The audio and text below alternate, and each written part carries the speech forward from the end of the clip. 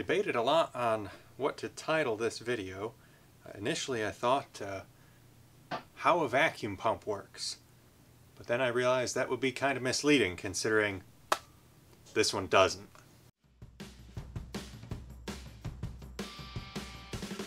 I've had this vacuum pump for uh, a little over a year, maybe two years, something like that. It's a Kozyvacu TA350. It was a pretty cheap little vacuum pump, and on this end we have an access port to reach into the electric motor. And if I can get the screwdriver to slot in, that's all the turning it'll do.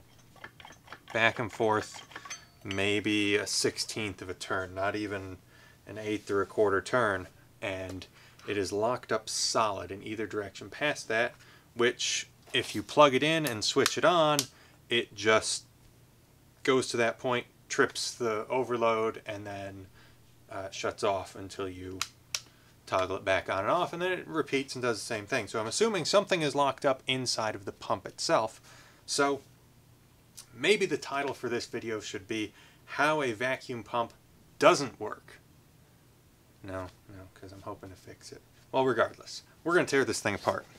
So it's got these four Allen screws here on the end, or hex cap screws, I guess, is perhaps a better term. They're all four millimeter on this because it is metric. I drained the oil out already, so hopefully we don't make an enormous mess. These little pads are awesome because they only absorb oil. They won't absorb water or um, things like that.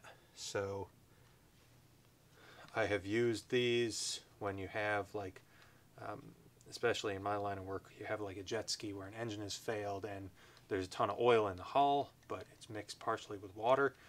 As you drain the water out of the hull, you can have it running across these pads and the water just runs off, but it traps the oil and um, prevents leaching that oil out into groundwater or things like that. So it's a good idea to have some of these things around.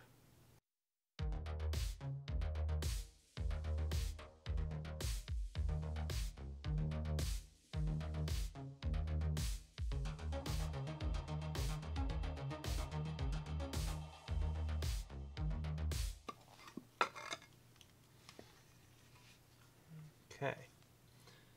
So, doesn't really tell us a whole lot. Let's see, are these also 4 millimeter here? No, they are not. They're bigger.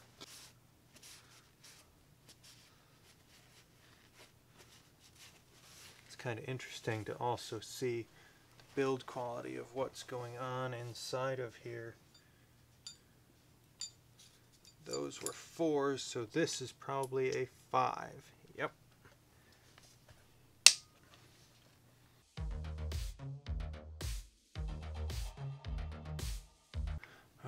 See what's inside. Okay, so this has a plastic guy in here. I'm assuming something is meant to slide or rotate or do something here, and it is not. Bet you Oh, I think I see what's going on. There's a burr right here on this side.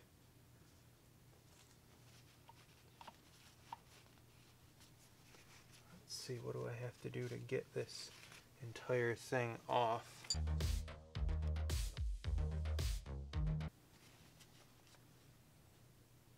Okay, so that whole housing piece comes off right there.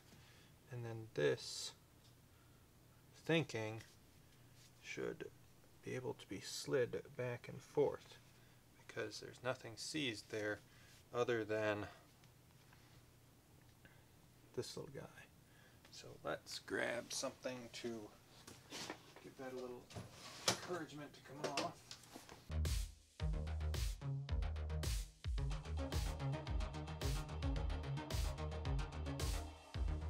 What happened here, there's these two pieces with springs in between that are meant to be spring loaded and putting pressure out. But something has happened to this one and they have seized up in their little spot there.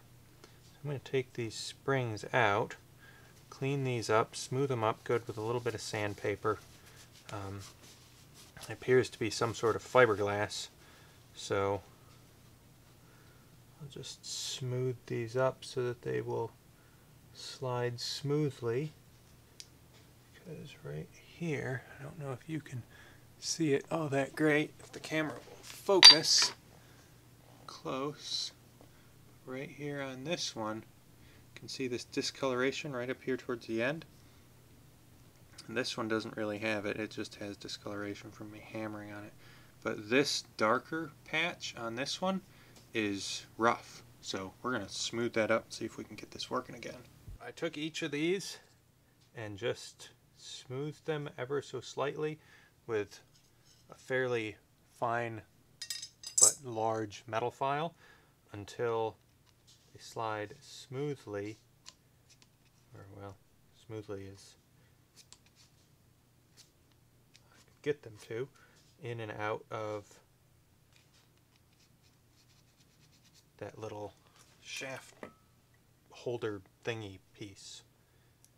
We use all the correct technical terms here on Try This at Home channel. So let's put this in.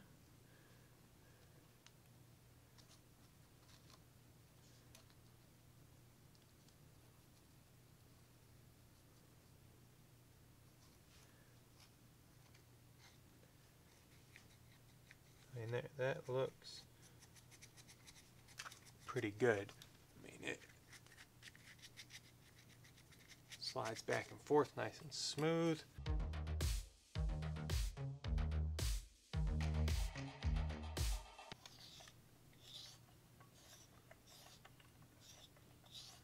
That's nice. Good deal.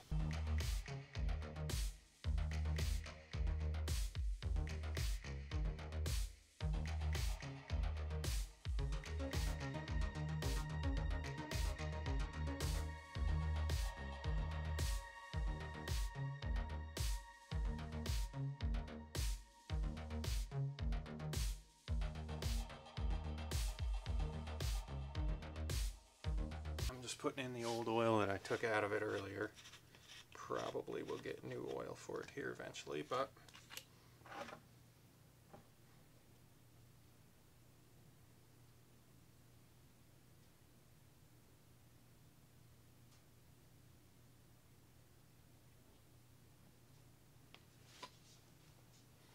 oh, this is the right amount, the right stuff, so there we go.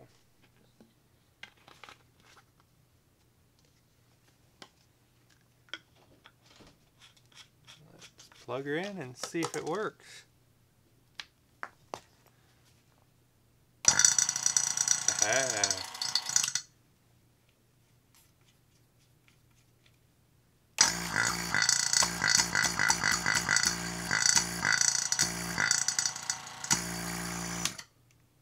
Success. So, now we can go and fix the AC on our cars before summertime hits. Thanks for watching.